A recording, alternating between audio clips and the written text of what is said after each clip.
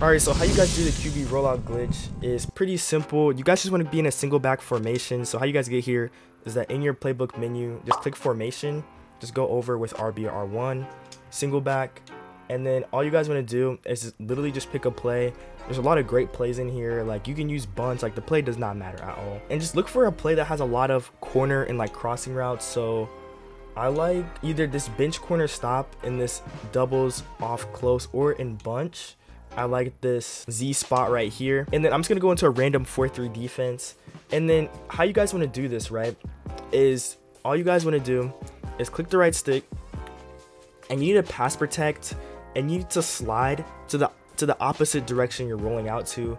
So if you if you have a right-handed quarterback, then you gotta slide protect left because you're gonna be rolling right. Tua is a left-handed quarterback, so you gotta slide protect right because you're gonna be rolling left. And then how you just pull up this menu, all you guys wanna do is click LB and then or L1 if you're on PlayStation, and then slide protect left with right stick to the left. And then the last thing you guys really need to do to set this up is literally just click pass protection, so right stick, LB or L1, and then double team, and then double team the guy, not that most outside guy, but like the inside D tackle to the side you're sliding so he doesn't get through and tackle you instantly when you're rolling out.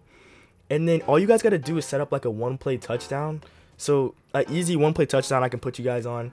And just out of this formation is literally just put Dallas Goedert. So just click right stick, then do hot routes with Y or triangle, and then click RB and then put him on a streak and that would be a one play touchdown because the, the safety has to guard two people and they, they can't cover two people you know what i'm saying? So that would be easy one play touchdown. So then now what you guys want to do when you hike the ball don't sprint instantly. Like wait like a second and then hold your stick at like a like a five o'clock angle like like this all right?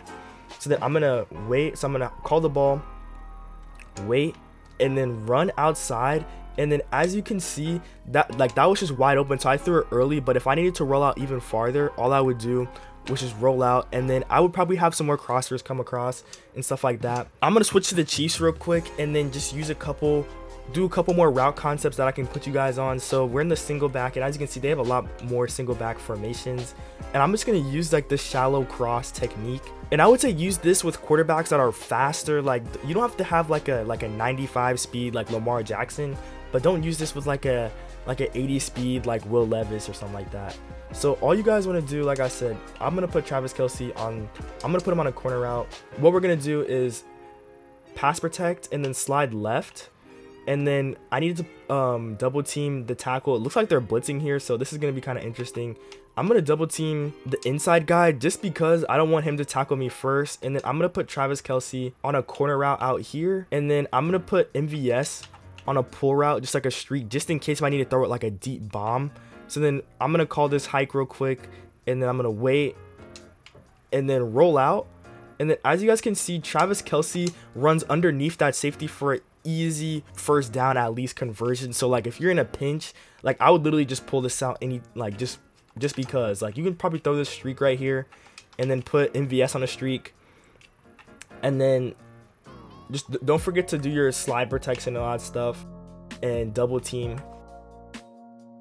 And you should be good. Like honestly you have to check down with y too and then you can probably turn that up like for like that was literally a 30 yard gain. So don't forget to hit that like button hit that subscribe button and i'll catch you guys in the next one. I'm out. Peace